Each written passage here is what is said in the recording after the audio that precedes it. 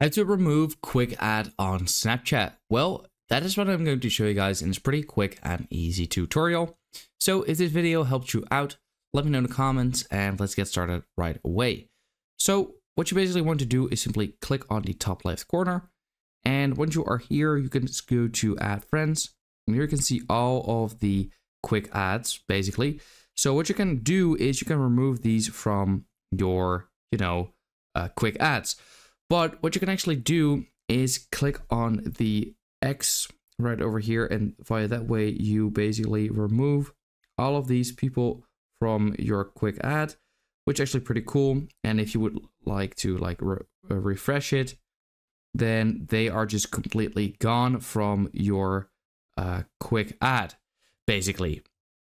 Now there's also something else which you can do is if you go to the settings and then scroll a little bit down and then to, I believe,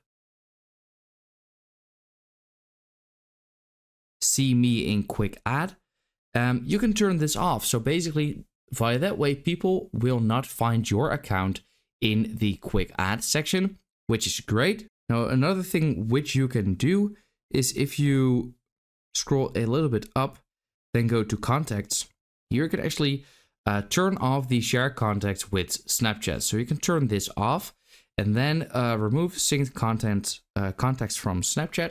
And that will also remove all of the contents uh, or contacts from Snapchat as well, which will now not be found in the quick add anymore. And they cannot find you anymore. So that is basically how to remove quick add on Snapchat.